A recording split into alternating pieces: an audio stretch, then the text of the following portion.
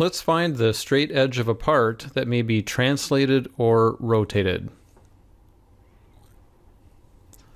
I have a series of images of the same object here. I'm interested in finding this right side edge, but I'd also like to be able to do this if the part is translated or perhaps rotated or some combination of the two.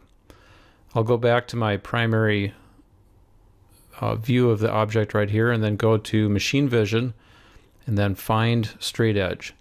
I need to define a region of interest for the search. Since I know my part is more or less located in the center, I will confine my search region to the right half of the image. And the red line here indicates that the edge was found successfully. You can generally just go with the default for auto setup. Sometimes you might want to adjust things like the density of your search. That's the gap that shows up right there. So if you'd like to have more search lines, you can do that.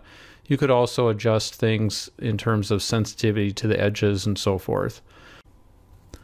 You can also specify the polarity. That is, are you looking for a transition from dark to light or light to dark?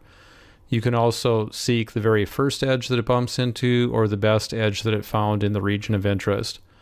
The advanced panel shows you a lot of details about the uh, calculation for the edge. And then under results, in particular, we can look at the angle of the edge that was found. Let me cycle through some of these different presentations of the same object. And in each case, we see that the angle is being correctly calculated. Again, you can also look at the red line to say where that straight edge was found. All of this information is presented in table form, and you can click there to send that information to Excel if you'd like to do some more detailed analysis. And finally, be sure to give the step uh, a name that's descriptive of what you are finding, so that way it's easy for you to make use of this information in subsequent vision script steps.